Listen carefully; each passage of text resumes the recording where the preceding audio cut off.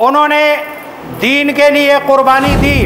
उन्होंने रब के सामने अपना जो वादा करके आए थे, सच करके दिखाया। लेकिन मैं और आप किस जगह खड़े हैं? कभी इस पे गौर किया? हम मन कवा नहबहू हम मैन तजिर रिजाल ये तो वो लोग हैं कि रब से जो वादा करके आए थे, वो वादा उन्होंने सच कर दिखाया।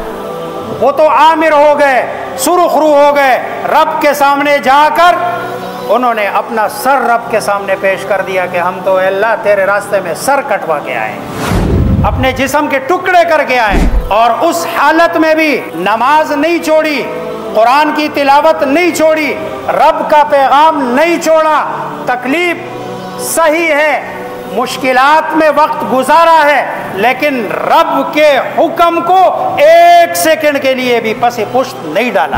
क्या मैं और आप, जो हज़रत हुसैन रदी अल्लाह तहों के नाम लेवा है, उनसे मोहब्बत का दावा करते हैं, उनसे उल्फत का दावा करते हैं। सरकार दो आलम मोहम्मद मुस्तफ़ा सल्लल्लाहु अलैहि वसल्लम से मोहब्बत का दावा करते हैं। क्या हम उनके उसमें पर अमल कर रहे हैं? कौन सा जुल्म है? कौन सी ज्यादती है जो इस वक्त मुआशरे में नहीं देखी जा रही है? कौन है? मुझे बताए ना, मैं पहले, आप बाद में।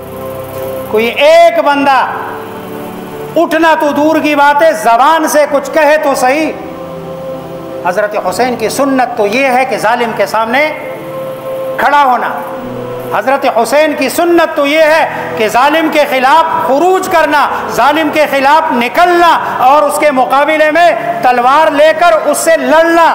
क्या हमने हज़रत हुसैन रज़ी तु की सुन्नत पर अमल किया? हुसैन की सुन्नत तो ये है कि नेज़ों के अंदर भी रहते हुए नमाज़ कज़ा नहीं की है। आज हम शॉपिंग के लिए जाते हैं, नमाजें बर्बाद कर देते हैं। हुसैन की सुन्नत ये है कि भाई, आप तकलीफ़ में हैं, मुशक्क़त में है, कभी आपकी नमाज़ ज़ाया ना हो।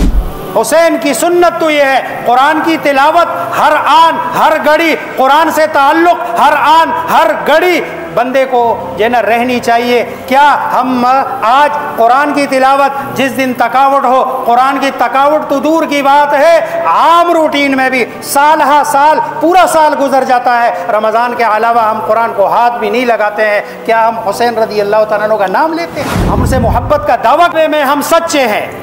अगर मोहब्बत हकीकी मानों में है तो हमें हज़रत हुसैन और उनके नाना सरकार दो आलम मोहम्मद मुस्तफ़ा सल्लल्लाहु अलैहि वसल्लम के उस हसना को और उनकी ज़िंदगी को मद्दनज़र रख कर उनकी ज़िंदगी को अपने लिए आइडियल और मायार बनाकर अपनी ज़िंदगी गुजारनी चाहिए। अल्लाह मुझे आप सबको समझने, अमल करने की तोफ़ी अता